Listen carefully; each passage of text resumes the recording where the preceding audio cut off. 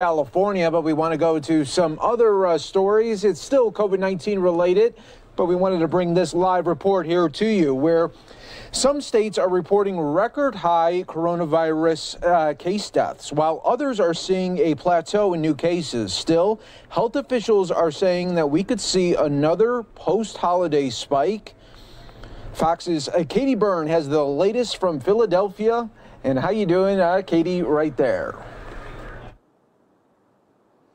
Hi, Mike. Well, like you mentioned, Pennsylvania is one of the states seeing a plateau in new cases. But here in Philly, they're still planning on tightening restrictions in anticipation of a new spike brought on by the holidays. But right now, we know that four states Indiana, Mississippi, Wisconsin, and West Virginia have reported more COVID 19 deaths yesterday since the pandemic started. And now we're learning more about a new strain of the virus found in the UK. Today, the UK's health secretary says both cases are from people who from South Africa recently.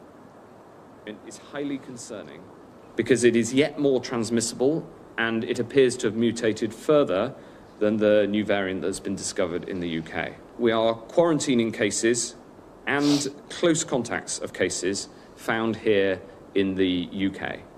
Second, we're placing immediate restrictions on travel from South Africa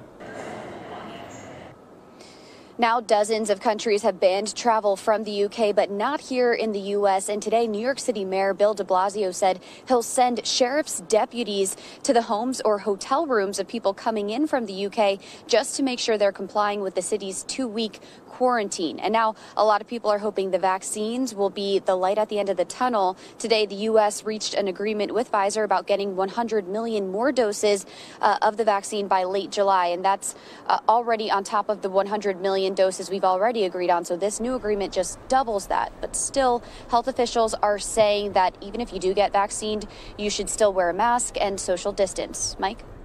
Yeah, Katie, it's one of these things where we're just almost at this finish line. We could see it. We see the vaccines that are out there. They're coming, and uh, next year, a lot more people will be able to get it there. But it, it's the hard part right now because we all remember these Christmas holidays with our families, and a lot of people still want to replicate that. And the cities just, some of them just don't know what to do.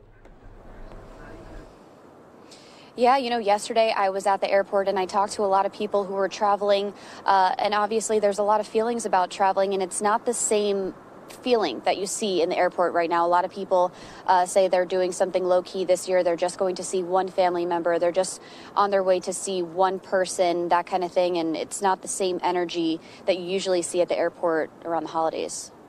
Yeah, it really is. And I mean, it's hard to believe that this week is actually Christmas there. So uh, we're hoping people will still get into the spirit, but uh, in a safe way uh, this Christmas and holiday season. Katie Byrne there live for us from Philadelphia. We always appreciate your updates.